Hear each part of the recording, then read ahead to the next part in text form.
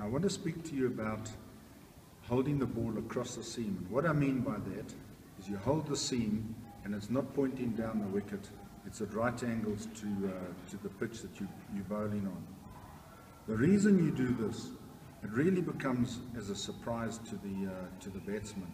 You can run in and bowl some with the seam straight down, but the seam hits the pitch and there's quite a lot of resistance when the seam hits it. So the ball will come off a whole lot slower.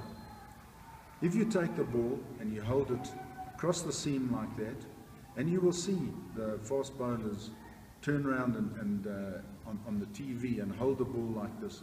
they're trying to land it on the smooth part. So the ball then skids on a whole lot quicker as to what's going on. If you do that and you bowl in a bouncer and you run in and you bowl a bouncer and it's a slower bouncer because it's hit the seam, and then you run in and you bowl one across the seam like that and it, you put in the extra effort and it, you get it to skid on, it gets onto the batsman much quicker.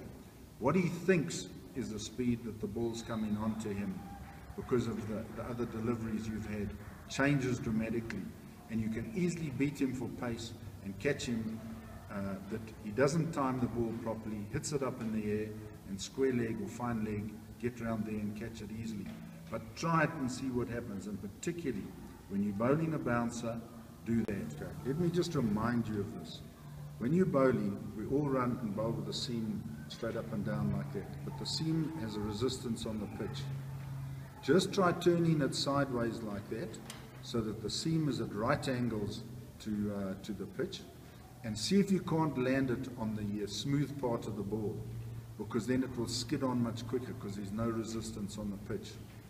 Just try that because if you can get a bouncer and you have a different paced bouncer, you will get uh, wickets as a result.